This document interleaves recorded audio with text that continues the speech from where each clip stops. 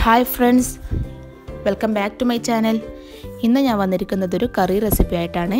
വളരെ പെട്ടെന്ന് തന്നെ ചുരുങ്ങിയ ഇൻഗ്രീഡിയൻസ് കൊണ്ട് നല്ല ടേസ്റ്റി ആയിട്ട് ഉണ്ടാക്കാൻ പറ്റുന്ന ഒരു കറി റെസിപ്പി ആയിട്ടാണ് ഞാൻ വന്നിരിക്കുന്നത്. ഇത് നമുക്ക് എങ്ങനെയാണ് ഉണ്ടാക്കാൻ നോക്കാം.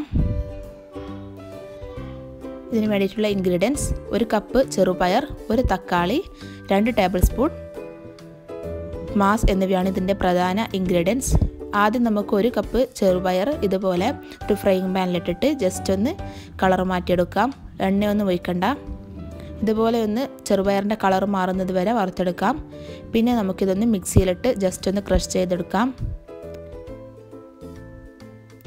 പിന്നെ വേണ്ടത് രണ്ട് ടേബിൾ സ്പൂൺ മാസാണ്. ഈ മാസ് കാമണിക്കൂർ വെള്ളത്തിട്ട് സോക്ക് ചെയ്തിട്ട് ക്രഷ് ചെയ്ത് വെച്ച മാസാണിത്.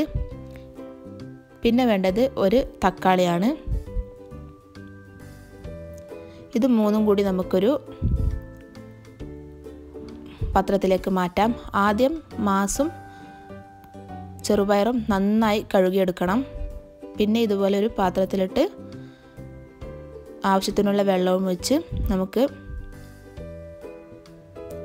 ഗ്യാസിലേക്ക് വെക്കാം. പിന്നെ ആവശ്യത്തിനുള്ള ഉപ്പ് ഇട്ട് കൊടുത്ത്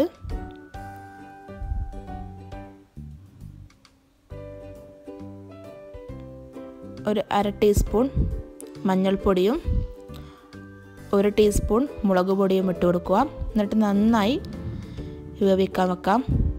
ഇത് നിങ്ങൾക്ക് കുക്കറിലും വെക്കാം. ഞാനിവിടെ ഇതുപോലെ ചെയ്യുന്നേ ഉള്ളൂ.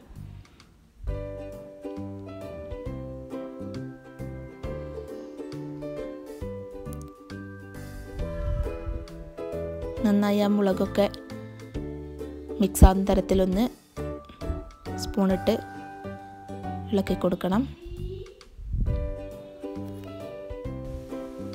ഇത് നമുക്ക് വേവിക്കാനായി അനുവദിക്കാം.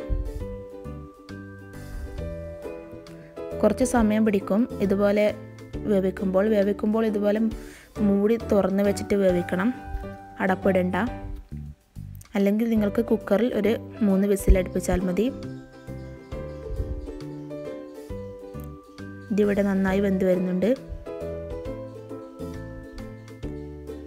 ഞാനിവിടെ തേങ്ങ അരച്ചിട്ടാണ് ഈ മാസ് കറി വെക്കുന്നത്. നിങ്ങൾക്കിത് തേങ്ങ അരക്കാതെ തന്നെ വെക്കാവുന്നതാണ്. ഇനി ഞാൻ തേങ്ങ അരക്കാൻ വേണ്ടി അരക്കപ്പ് തേങ്ങയും അര ടീസ്പൂൺ മഞ്ഞൾപ്പൊടിയും അര ടീസ്പൂൺ ക്യുമിൻസിയോടും ഇട്ടിട്ടുണ്ട്. ഇനി നമുക്കിത് നന്നായിട്ട് അരച്ച് വേവിച്ച വെച്ച ചെറുപയലിലേക്ക് ഇട്ട് കൊടുക്കാം.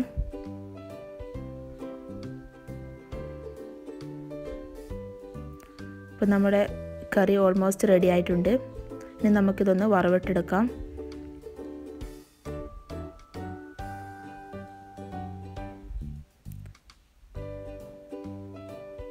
നമുക്കിത് മൺചട്ടിയിലേക്ക് വറവിടാം.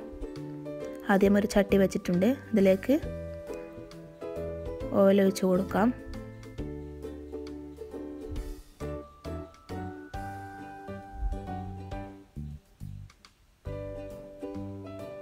ഓയിൽ നന്നായി ചൂടായി വരുന്നുണ്ട്. ഇനി നമുക്കിതിലേക്ക് കുറച്ച് ഉള്ളി കട്ട് ചെയ്തിട്ട് കൊടുക്കാം. ചെറിയ ഉള്ളി ആയാലും മതി. ഞാനിവിടെ വലിയ ഉള്ളിയാണ് ഇട്ടിട്ടുള്ളത്.